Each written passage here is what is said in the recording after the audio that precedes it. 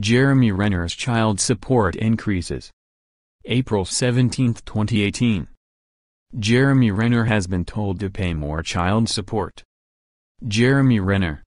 The Avengers, Infinity War star and his ex-wife Sonni Pacheco had already agreed that their five-year-old daughter Ava would receive $13,000 per month from her father, and 5% of anything else he earns on top of his yearly salary of $2.3 million due to him being named an extraordinary high-income earner in court documents. TMZ now reports that the former couple have signed a new deal since the 5% has increased significantly, because of the actor's recent career success with the Avengers franchise. However, there will be a limit of $200,000 per annum on what their little girl will receive at present.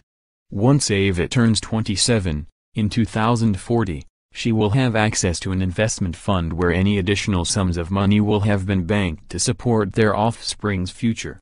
Meanwhile, the 47-year-old Hollywood star previously said he's keen for his daughter to experience adversity so she will be prepared for anything that life may throw at her.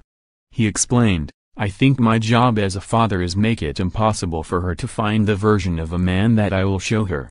That's my job every day. To be consistent, like the stone in the garden. Sometimes it sucks to be the stone but you need to be there.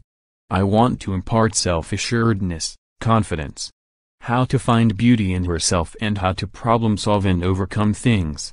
I want to put her in front of things and have the experience where she has to make decisions. I want her to experience adversity because I think struggle is so important. The Wind River star also previously admitted he'd like to have seven more children.